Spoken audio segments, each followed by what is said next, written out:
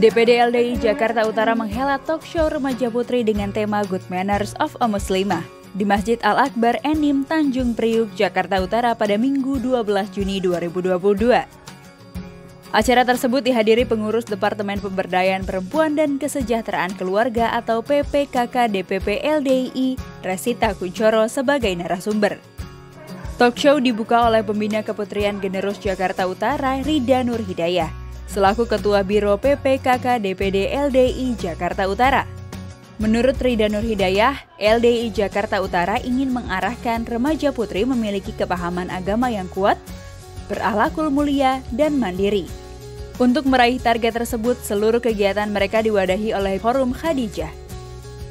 Harapannya pembinaan generus bisa bersinergi dengan majelis taklim yang ada di LDI Jakarta Utara. Kita ingin mengarahkan remaja putri kita, Hadijah-Hadijah Putri, terutama yang ada di Jakarta Utara ini, agar menjadi uh, putri yang uh, religius, paham agamanya, Quran hadisnya, dan juga berakhlakul hari karimah, dan juga menjadi pribadi yang mandiri.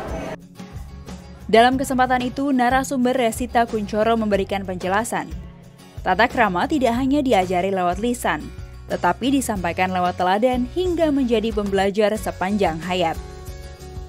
Resita Kuncoro kemudian mengajak generus keputrian LDI Jakarta Utara untuk rutin mengkaji dan mempelajari kitab tentang adab yang secara rutin dikaji setiap tahun.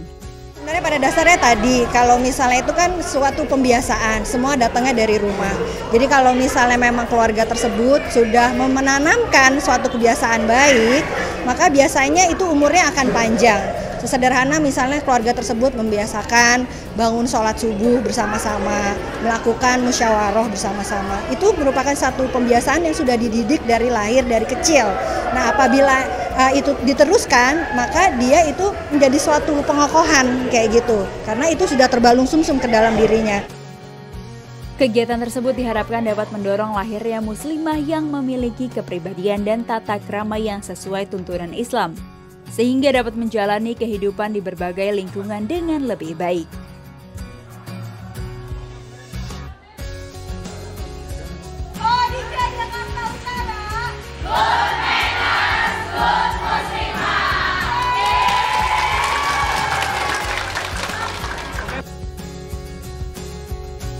Like jika menyukai video ini dan subscribe untuk mendapatkan berita terbaru dari LDII TV. Alhamdulillahi jazakumullahu khairah telah menonton.